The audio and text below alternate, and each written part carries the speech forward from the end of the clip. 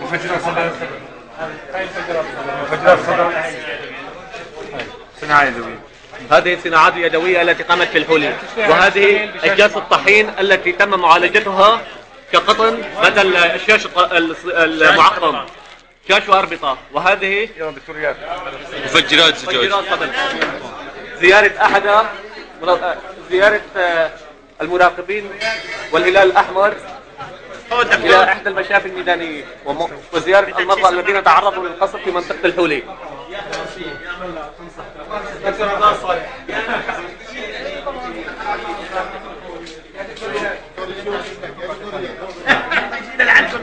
جاي دكتور عبد القادر هلا طلع سيارتين وجاي يا أهلا وسهلا والله جبت مختاره قولوا لي إياها قولوا لي إياها. قولوا لي إياها قولوا لي إياها.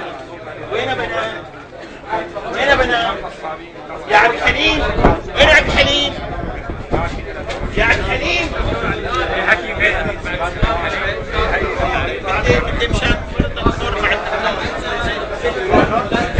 وين عبد الحليم؟ مع كل دكتور يمرض. دكتور محمد خير.